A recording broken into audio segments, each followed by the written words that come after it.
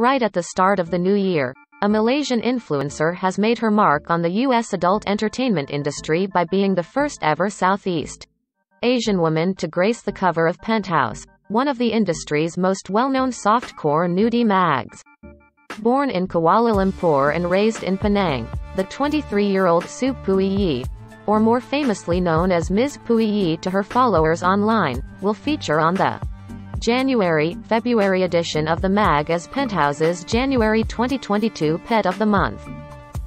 Image.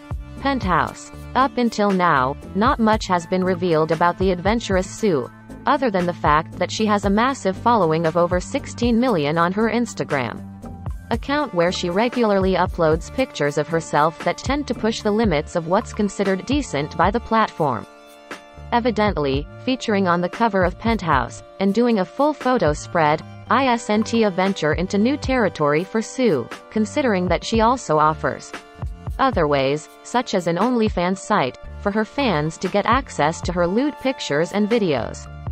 According to reports, Sue's foray into creating X-rated content began after she had nude photos from her laptop stolen, and was faced with extortion to the tune of Erm 50,000 for the return of said images.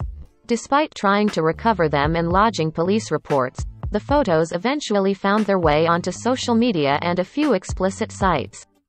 This eventually led her to consider suicide before she eventually decided to seize control of things by owning her predicament.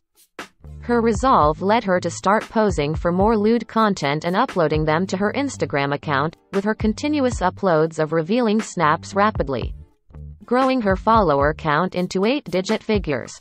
Aside from modeling and posing, Sue has even started her own cosmetics brand which she launched in mid-2021, and her success online has even allowed her to buy herself a Porsche for Christmas. Read more entertainment stories. 10 movies we can't wait to see in 2022. The most anticipated TV shows coming in 2022. The Book of Boba Fett gave Star Wars fans two things they've been craving since 1983.